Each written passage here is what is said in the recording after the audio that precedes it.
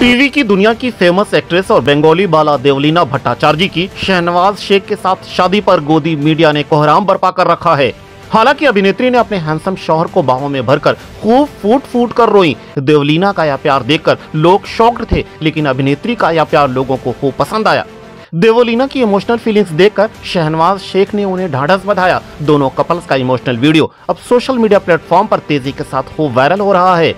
देवलीना अपने शोहर पर खूब प्यार लुटा रही हैं। हालाँकि देवलीना पिछले तीन सालों से शहनवाज शेख को डेट कर रही थी, जिसके बाद मुंबई के लोनावला में दोनों ने धूमधाम से शादी कर लिया है।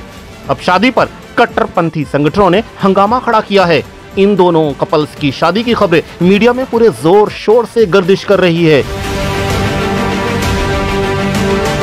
टीवी सीरियल साथ निभाना साथिया में गोपी बहू के नाम से मशहूर टीवी एक्ट्रेस देवलीना ने अपने शोहर शहनवाज शेख के साथ मैरिड रजिस्ट्रेशन ऑफ़िस में शादी के करार पर साइन करती नज़र आ रही हैं। वीडियो में देवलीना शहनवाज शेख को गले में वरमाला पहनाती हुई भी नज़र आ रही हैं।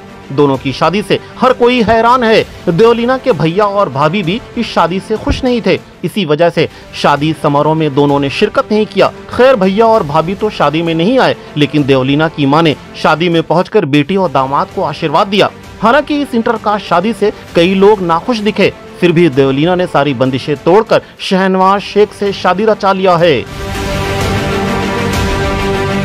टीवी सीरियल साथ निभाना साथिया से मशहूर हुई देवलीना भट्टाचार्य बतौर कंटेस्टेंट्स बिग बॉस 13 में भी दिखाई दे चुकी हैं। देवलीना अब किसी शोहरत के मोहताज नहीं है। उन्हें घर घर में देखा और पहचाना जाता है।